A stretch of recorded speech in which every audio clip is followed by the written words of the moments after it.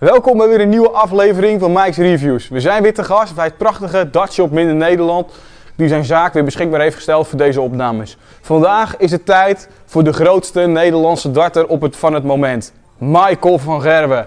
En zijn collega's Joe Cullen, Mervyn King, Daryl Gurney. Het is namelijk tijd voor Wim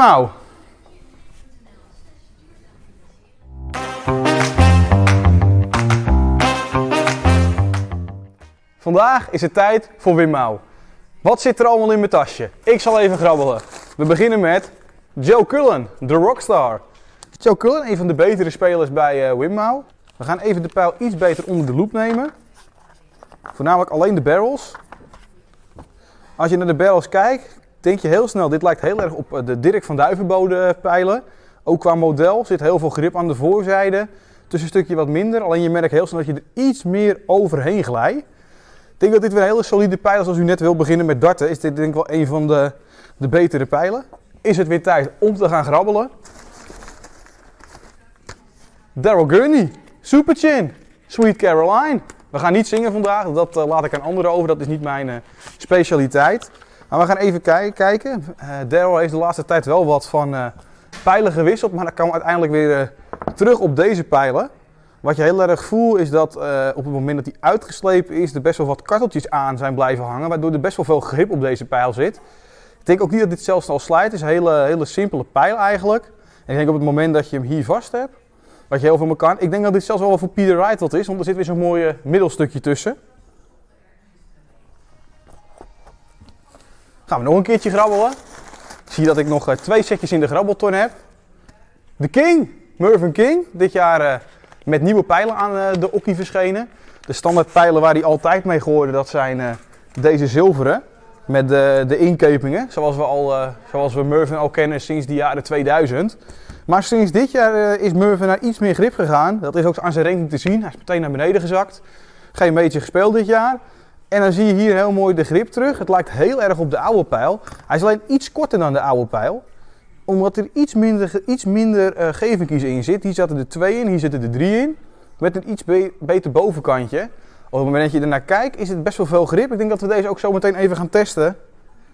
En dan gaan we even grabbelen naar dat laatste setje wat nog in mijn mandje zit. Wat zit er nog allemaal in mijn tasje? Dan is het tijd voor Michael van Gerwen. De man die dit jaar de World Matchplay en de World Grand Prix wist te winnen en weer helemaal op de weg terug is. Zijn pijlen. Andere modellen die hier hangen, heeft hij mee geprobeerd. Hier heeft hij in de Premier League mee proberen te gooien. Met de Prisms heeft hij in de Premier League mee gegooid. Maar uiteindelijk is hij toch teruggestapt naar het QMAX concept. En dat is eigenlijk het concept wat ik hier eigenlijk weer in mijn handen heb, wat eigenlijk Wim zo goed mogelijk heeft nagemaakt. De Michael van Gerben pijl. Eigenlijk pakt hij hem altijd vooraan vast. Heeft een tijdje hem anders vast gehad. Maar goed, we gaan zo kijken wat hij aan het bord doet. Maar het valt heel erg op. Ja, moet je er eigenlijk van zeggen? Het is eigenlijk een hele simpele pijl. Eigenlijk een van de simpelste pijlen in het circuit, denk ik wel. Weinig op of aan te merken, weinig uh, speciale grip op. Ik ben eigenlijk wel benieuwd hoe het gewicht in de pijl voelt. Want hij gooit best wel diep naar beneden toe. Ah goed, dat zullen we zien aan het bord.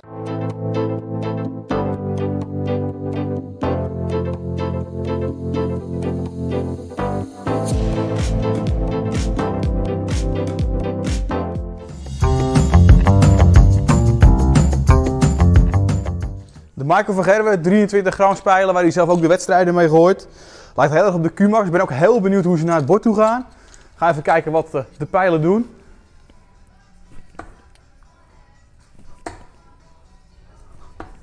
Staan ze redelijk vlak in het bord. Alleen ik weet niet zo heel goed hoe dit nu echt daadwerkelijk aanvoelt. Het voelt heel leeg.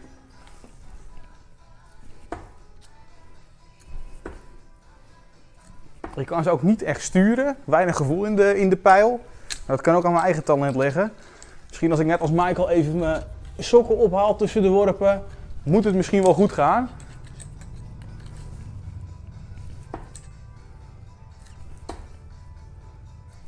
Als ik de pijl aan de voorkant pak, kan ik hem in ieder geval niet heel goed sturen.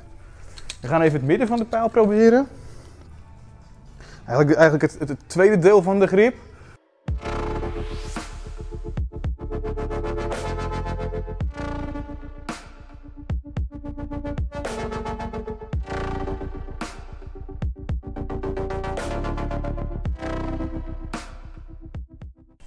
Eén keer proberen.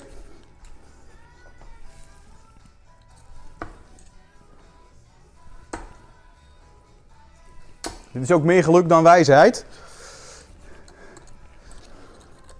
Zoals Michael zal zeggen, het mag me niet gebeuren, waren toch te wat weinig trippels. Tijd om de pijlen van Mervyn King te bekijken. Mervyn King, 26 gram pijlen. King, de man van het zakken op de ranking dit jaar. Benieuwd wat ze pijlen doen, of ze ook gaan zakken in het bord. Gaan we achterkomen.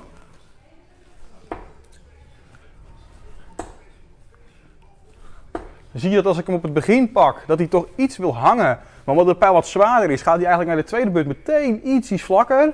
Wat ik eigenlijk heel moeilijk vind om de pijl te sturen. Ik ga hem nu even in het midden pakken. Ik denk dat dat iets makkelijker gaat. Kijk, als ik hem in het midden pak, kan ik de pijl iets beter sturen. Alleen je moet wel heel geconcentreerd blijven bij deze pijl. Wat die zo zwaar is. Het is 26 grams.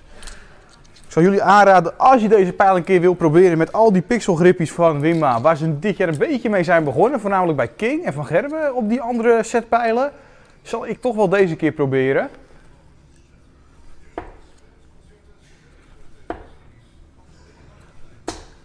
Het valt op zich redelijk strak in het bord, alleen het vergt heel veel concentratie. Ik zal nog één keer aan de achterzijde van de pijl proberen.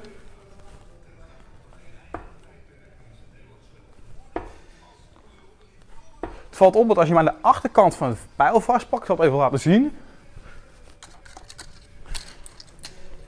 Als je de pijl zo vastpakt, kan je toch veel meer met de pijl. Kan je hem nog heel erg sturen. Dus eigenlijk raad ik aan om hem hier vast te pakken of hier. Want zeker in het begin bij de 26 gram gaat hij heel erg hangen. Tijd voor de eindconclusie.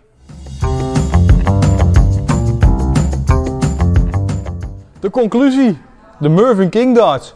Zeker een aanrader om een keer te testen. Misschien in combinatie met de darts van Verduivenbode, dat je een beetje een gevoel krijgt hoe je veel grip of weinig grip.